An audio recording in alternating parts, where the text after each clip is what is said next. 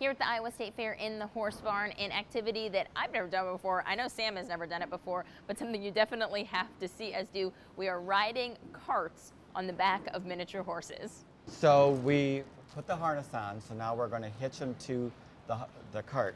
So we slide these um, poles in, and then these are what we call our tugs. So we reach them back so they is what holds them in the cart. A Western uh, horse is going to have a, a looser check, and a pleasure horse is going to be pretty tight check. Okay, because you don't want them to be moving. Right, so, you want so them you rigid. want them more upright, and, and this is a Western horse. We want them a little more relaxed. Tommy. All right.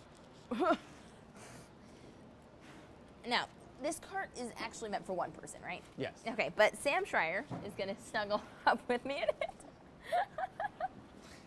okay, now these things, Greg, you gave us some handles. You don't usually have handles, no, right? No, we have the handles for the beginners and a lot of times for youth.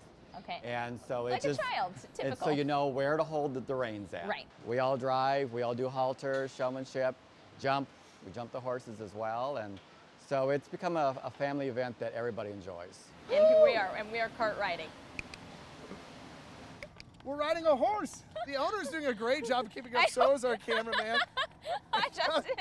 Yeah, but I have a lot of skill. I have a lot of skill. Well, this has been one of the most exciting and fun activities for me here so far at the Iowa State Fair, riding the carts behind the miniature horses. But do not worry because we aren't finished yet. We have lots more coverage from the Iowa State Fair for the rest of the week. I'm Sabrina Ahmed, Local 5 News. We are Iowa.